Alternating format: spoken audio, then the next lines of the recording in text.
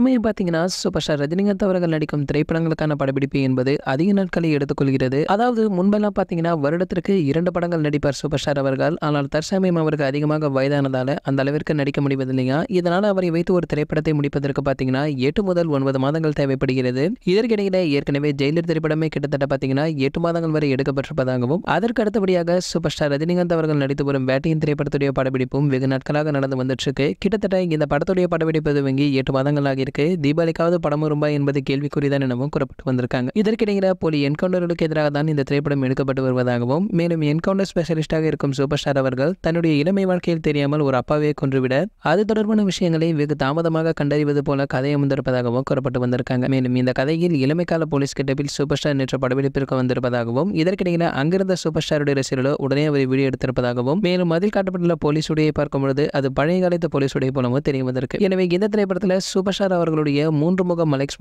லெவலில் இருப்பார் எனவும் எதிர்பார்க்கப்பட்டு வந்திருக்கு. சரி ஓகே இது போன்ற சூப்பர் ஸ்டார் ரஜினி சார் பற்றி வெளியாகும் அனைத்து செய்திகளை நீங்கள் உடனே தெரிஞ்சுக்க. நம்மளுடைய சினிமா கொட்டையான நம்ம சேனலை சப்ஸ்கிரைப் பண்ணிக்கோங்க. பக்கத்தில் உள்ள பெல்லைக்கான கிளிக் பண்ணிட்டீங்கன்னா நீங்கள் நம்ம வீடியோவை மிஸ் பண்ணாமல் பார்க்கலாம்.